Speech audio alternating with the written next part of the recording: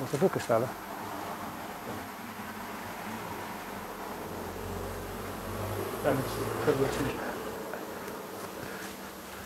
Toliko radosti življenja, najbrž že zlepa ni uživ kakšen slovenec, kakor sem ja jaz. Kdo se lahko pohvali z mladostjo v takšnem kraju, kakor so velike lašče? Kdo se lahko pohvali, da se je šolal na najboljši gimnaziji, kar jih je bilo kdaj na slovenskem? Kdo se lahko pohvali, da je vso revolucijo preživel kot mesečni pesnik? Kdo se lahko pohvali, da je živel tri leta lačen v Parizu, pri tem pa bil sit vsega najboljšega?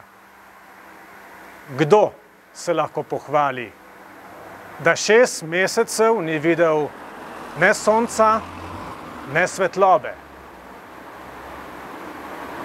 Kdo se lahko pohvali, da je bil obsojen na 12 let ječe?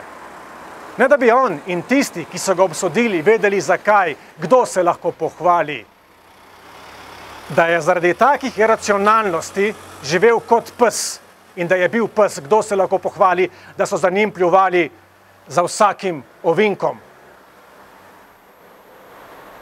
Kdo se lahko pohvali, da so ga nosili na rokah geniji tega stoletja?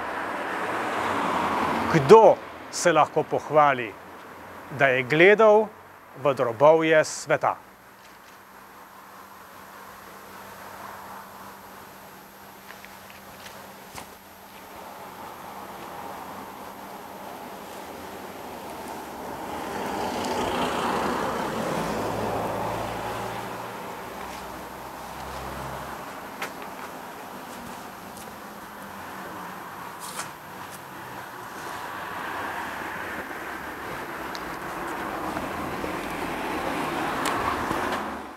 Tih veter veje čez kamnite hribe, z njim vejem jaz.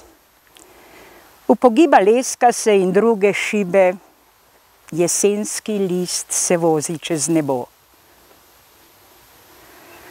Košati brin, ki v našem bregu rase stoji trdno in zelen je vse dni, ker ve, kar dobro vem jaz zase, da v buri, v plohi, v ognju se zdrži.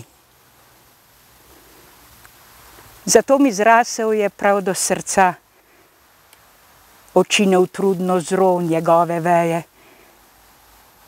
Samote moje pot tja gor pelja, kjer v brinje oster veter veje. In brin stoji, ker brin je star junak in brin diši, če ogen se ga prime